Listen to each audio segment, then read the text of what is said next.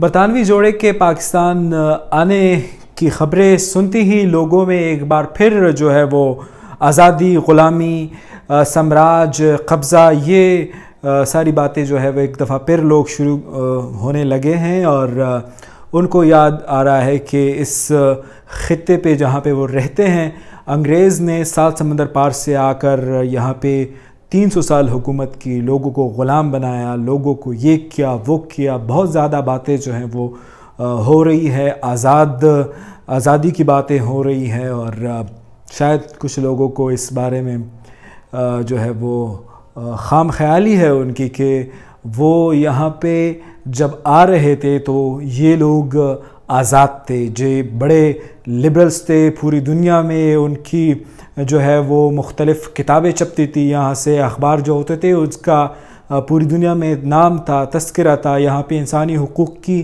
جو ہے وہ بہترین لوگوں کو سہولیات تھی بہترین صحت کی سہولیات تھے، سکولز بہترین تھے، ریل کا نظام بہتر تھا، اریگیشن کا نظام بہتر تھا، سب کچھ ایک دم پرفیکٹ تھا۔ لوگ جو ہے وہ مذہب کی آزادی تھی، لوگوں کو ہر طرح کی آزادی تھی۔ یہ سوئٹزرلینڈ ہی تھا، لیکن انگریز نے آ کر یہاں پہ قبضہ کیا، سب کچھ چھین لیا اور اس کے بعد جو ہے وہ ہم نے ہم نے یعنی ہم نے ان کے خلاف جد جہد کی، پھر وہ چلے گئے اور ان کو بھاگنا پڑا، ان کو یہ ملک ہمارے بڑوں کے حوالے کرنا پڑا۔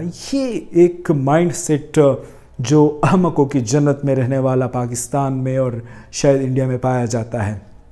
ایسا بالکل نہیں تھا۔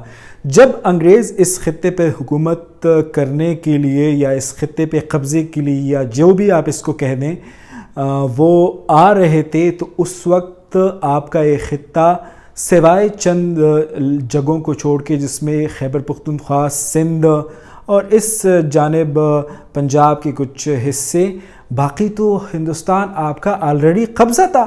آپ پر تو حکومت تھی، آپ تو غلام تھے آلریڈی آپ ایک تو جو ہے وہ انسانوں کے غلام تھے کہ آپ پر مغل حکومت کر رہے تھے، آپ پر مہاراجی حکومت کر رہے تھے، آپ پر مختلف جو وارلارڈس تھے، وہ حکومت کر رہے تھے۔ آپ پر وڈیرا حکومت کر رہا تھا، نواب حکومت کر رہا تھا۔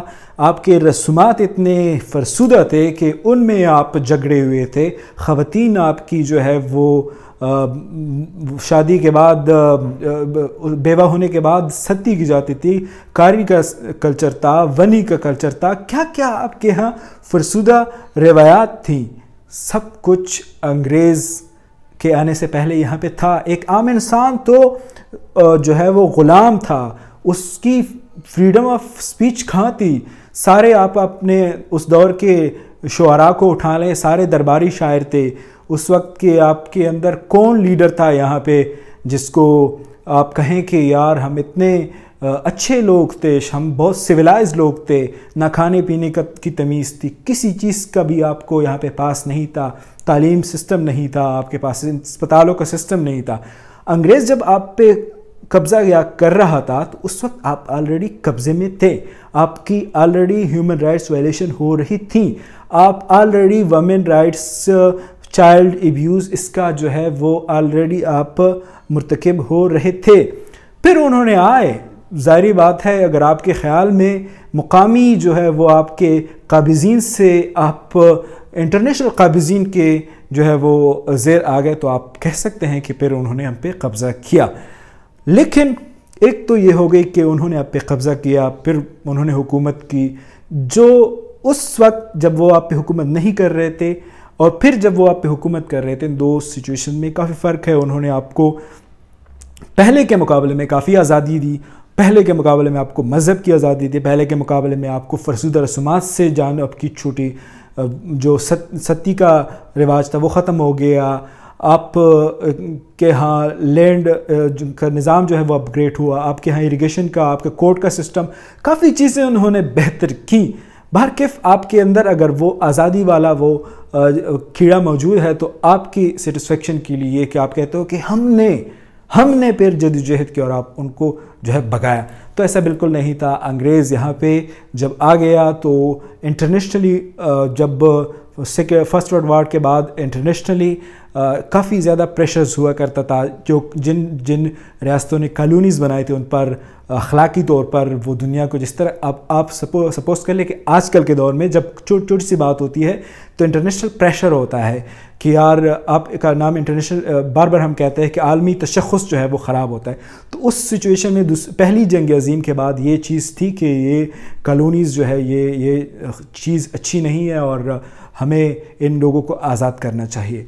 ہندوستان کو آزاد کرنے میں اتنا وقت کیوں لگا؟ اس کی وجہ جو ہے وہ تو اور بہت زیادہ تھیں لیکن ایک جو بڑی وجہ جو انگریز سمجھتا ہے، جو انگریز نے اپنی ڈائریز میں لکھے غالباً سر ویلنگٹن نے اپنی ایک اپنے افیشل سے کمیونیکیشن میں لکھا تھا کہ ہمارے بڑوں سے کافی غلطیاں ہوئی ہیں۔ ان میں سے سب سے بڑی غلطی یہ ہے کہ پورے ہندوستان پر تین سو سال حکومت کرتے ہوئے ان کو یہ یاد نہیں آیا کہ اپنی جو خواتین ہے، جو انگریز بیگمات ہے کچھ، ان کی شادی یہاں کے مقامی جو جگیردار لوگ ہیں، ان سے کراتے تاکہ ان میں کوئی مرد کا بچہ پیدا ہوتا۔ کوئی مرد کا بچہ، یہ لفظ استعمال کیا، کوئی مرد کا کوئی کوئی کوئی مردانہ نہیں، اس اس طرح لکھا تھا، سوری، کوئی مردانہ خصوصیت والا بچہ پیدا ہوتا۔ کیونکہ یہاں پہ کوئی ایک ایسا شخص نہیں ہے جس کو ہم جانے کے بعد حکومت حوالے کریں وہ یہاں پہ لوگوں پہ حکومت کرے۔ اس طرح کوئی شخص ہم نہیں دیکھ پا رہے۔ بہرکف یہ بھی کافی، لیکن یہاں پہ لوگوں میں کیپیسٹی نہیں تھی کہ وہ لوگوں پہ حکومت کرتے۔ بہرکف پھر بھی جب آپ کہتے ہو وہ سیکنڈ ورلڈ وار کے بعد جانا چاہتے تھے کیونکہ ان کا ملک جو ہے وہ بینکرپٹ ہو گیا تھا۔ ان کے لیے ممکن نہیں تھا کہ وہ ہندوستان پر حکومت کرتے، اس سچویشن میں بھی آج کل کے جو لوگ ان کے، اس سچویشن میں بھی ایک جماعت تھی جس کا نام تھا آل انڈیا مسلم لیگ اس نے جب کانگریس کی جانب سے نعرہ لگا کہ کوئٹ انڈیا تو انگریزوں کو تو یہ بات غلط لگی کہ ہم تو خود دلی دل میں سوچ رہے تھے کہ ہم جا رہے ہیں مطلب سویلائز طریقے سے ہم اس کو چھوڑ رہے ہیں۔ یہ کون ہوتے ہیں ہمیں کوئٹ کرنے والے؟ اسی طرح پہلے بھی آوازیں تو خیبر پختونخوا سے سندھ میں جو تھی وہ بلند ہوتی تھی، لیکن ان لوگوں کو تو جیلوں میں ڈالا جاتا تھا۔ ان کو جو ہے وہ کسی کو سروں میں گولیاں ماری جاتی تھی، بھگت سنگھ وغیرہ، یہ چیزیں، یہ یہ یہ تو تھیں۔ لیکن جو آفیشلی جب وہ ہندوستان کے اندر ان کے خلاف کسی سیاسی جماعت نے پہلی دفعہ آواز اٹھائی تھی۔ وہ تو عام انقلابیوں کی یا اس طرح کی جو تحریکیں ہوتی ہیں وہ تو چلتی ہے لیکن کسی سیاسی جماعت نے پہلی دفعہ نعرہ لگایا کہ کوئٹ انڈیا انڈیا سے آپ لوگ نکلے۔ اس پہ گاندھی جی کو انہوں نے جیل ڈالا اور اس وقت کے بڑے بڑے جو قائد جن کا ہم پھر تاریخ میں نام لیتے ہیں اور ان کو بڑے بڑے خطاب دیتے ہیں، انہوں نے کہا کہ یہ تو ملک دشمنی ہے۔ یہ تو ریاست کی دشمنی ہے کہ ملک حالت جنگ میں ہے اور آپ انہیں کہتے ہو کہ آپ آپ سرکار سے کہہ رہے ہو، ریاست سے کہہ رہے ہو کہ آپ چلے جاؤ، یہ تو غداری ہے۔ ان کو ہم آج بڑے بڑے جو ہے وہ ہم نے لقب دی ہوئے ہیں۔ بارکف اس چیز میں نہیں جانا چاہتا، لیکن آپ کا جو اگر ہندوستان والے کہہ بھی دیں تو ان کے پاس کانگریس تھی، کچھ نہ کچھ اخلاقی جواز وہ رکھتے ہیں، وہ کچھ نہ کچھ انہوں نے مومنٹس کی تھی۔ پاکستان میں کسی کے پاس اخلاقی جواز نہیں ہے۔ کم از کم وہ وہ ملک جو کہ مسلم لیگ کے وجہ سے بنا ہے، اس کے، ان میں کسی کے پاس اخلاقی جواز نہیں ہے کہ وہ کہہ دے کہ ہم نے ہم نے انگریزوں کے خلاف جد و جہد کی۔ انگریزوں کے خلاف آپ نے کوئی جد و جہد نہیں کی۔ آپ کے سارے مسلم لیگ کے جو لیڈرز تھے، ان کو کوئی سر تھا، کوئی کیا تھا، کوئی سر ظفر اللہ، کوئی سر شفیع، کوئی کیا تھا، کوئی بڑا لیڈر تھا۔ بہرحال خطابات جو ہے وہ لوگوں نے انگریزوں نے ان کو دیے تھے، ان کو، ان کے پنشندار تھے، آپ کے سر سید احمد خان ان کے وظیفہ لینے والے تھے، آپ کے جو شعراء ہیں، مومن، غالب میر تقی میر، یہ ان کے جو ہے وہ درباری تھے، ان کے ہاں ملازمت کے لیے سر پاؤں مارتے تھے، کچھ ان کے ملازمین تھے ڈائریکٹلی اور جس وقت کوئٹ انڈیا کے لیے باتیں ہو رہی تھی تو جو آپ کے فرسٹ جو وزیر خارجہ ہیں، جن کو آپ لوگ بڑا آپ لوگ کہتے ہو کہ جو اس وقت جو ایک ایسے اس کے فرقے یا ایسی مذہب سے اس کا تعلق ہے، جو کہ پاکستان میں اس کا نام لینا بڑا معیوب ہے، جو سر ظفر اللہ ہے، وہ ان کے جو اسٹیٹ کی جو سیکورٹی کمیٹی تھی، جس طرح ہماری نیشنل سیکورٹی کمیٹی ہوتی ہے، وہ اس کے پرماننٹ ممبر تھے۔ اور جب وہ مطلب ریٹائرڈ ہو رہے تھے یعنی مدت ملازمت ان کی وہ ختم ہو رہی تھی، تو ان کو جو ہے وہ ایکسٹینشن مل گئی۔ جیسے ابھی باجوہ صاحب کو ایکسٹینشن ملی ہے، ایسے اس وقت اس، ان کو ایکسٹینشن ملی تھی۔ تو پاکستان میں رہنے والوں کے پاس سوائے وہ جو کہ سندھ سے تعلق رکھتے ہیں یا پھر بلوچستان اور کے پی کے سے کچھ جن نیشنلسٹ جماعتوں سے تعلق رکھنے والے اگر کہہ بھی دیں تو کسی صورت میں وہ جسٹیفائڈ ہے۔ لیکن ایز اے ہول جو یہ ایک قسم کی پاکستانی نیشنلزم کی بات کرنے والوں کے پاس کوئی جواز نہیں ہے کہ وہ کہیں کہ ہم نے انگریزوں کو انگریزوں سے آزادی لی، ہم نے ان کے خلاف جنگ لڑی۔ انگریز اپنی مرضی سے آئے، اپنی مرضی سے چلے گئے۔ پھر بھی آپ کا جو ہے، حق نہیں بنتا کہ اگر آپ کہیں کہ میں نے، کہ ہمارے آبا اجداد پر انہوں نے حکومت کی اب کے آبا اجداد آلریڈی غلام تھے۔ اور انگریز آئے، انہوں نے ان کو سویلائزڈ کیا، انگریز اپنی مرضی سے چلے گئے، ایک ریاست اپنے مقصد کے لیے بنائے تاکہ رشیا کے خلاف وہ ان کو استعمال کر سکیں اور پھر آپ نے دیکھا کہ رشیا کے خلاف ہم یعنی پاکستانی، استعمال ہوئے۔ جہاد میں ان کے خلاف ان کو ٹکڑ ٹکڑ کیا۔ یہ بہت بڑی کہانی ہے۔ اسے پھر کبھی سنائیں گے کہ کیسی ریاست کی تلاش تھی اور دیر کیوں لگی ان کو اس ریاست پر اعتماد میں یہ پھر کبھی صحیح، لیکن فی الحال اتنا ہی کہ آپ کا یہ پورا خطہ کبھی آزاد تھا ہی نہیں۔ آپ کا خطہ غلام تھا۔ ایک غل، ایک قابض آیا، پھر دوسرا آیا، پھر دوسرا آیا۔ ایسے قابضین سے جو ہے وہ آپ قابض کے بعد، قابض کے خلاف جو ہے وہ سر جھکاتے تھے۔ کچھ لوگ لڑتے تھے، خیبر پختونخوا میں جو پشتون اپنے آپ کو کہتے ہیں، کچھ کبھی کچھ کو ایکسیپٹ کیا، کبھی کسی کے خلاف ہتھیار اٹھائے، یہ سسٹم چلتا رہتا تھا، یہ کوئی نہیں کہہ سکتا تھا کہ سارے جو ہے نا وہ بڑے آزاد پسند وغیرہ وغیرہ، اس طرح کی جو کچھ کچھ بھی نہیں تھی، کوئی بھی دودھ کا دلہ نہیں ہے۔ بس وقت وقت کی بات تھی، کچھ قابضین جو ہے وہ کسی کو پسند آئے، کچھ قابضین جو ہے وہ کسی کو پسند آئے۔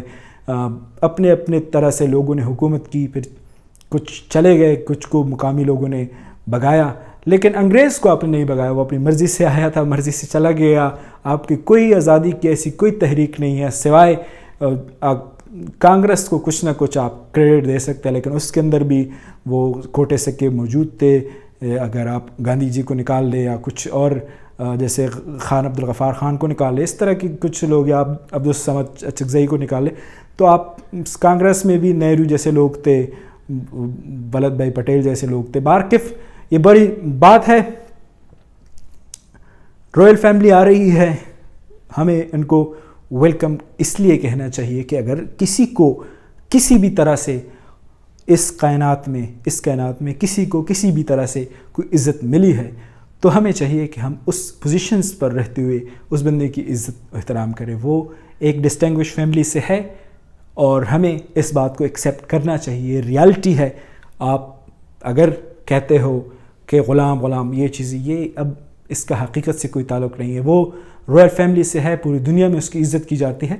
تو آپ ان کی آمد کے موقع پر اگر اس طرح کہیں گے کہ ہم پر غلام، ابھی تک غلام ہے تو آپ کبھی آزاد تھے ہی نہیں۔ آج بھی آپ کون سے آزاد ہیں؟ آپ کا میڈیا کون سا آزاد ہے؟ آپ کی کون سی ہیومن رائٹس کی جو ہے وہ آپ کا آپ کی جوڈیشری کدھر آزاد ہے؟ آپ کا پارلیمنٹ کدھر آزاد ہے؟ آپ جو ہے وہ پارلیمنٹری سسٹم میں ہوتے ہوئے آپ کے پریزیڈنشل ریفرنسز جو ہے وہ اس کے ذریعے سے نظام چلایا جا رہا ہے۔ تو آپ آج کوئی آزاد نہیں ہے نہ آپ پہلے کبھی آزاد تھے۔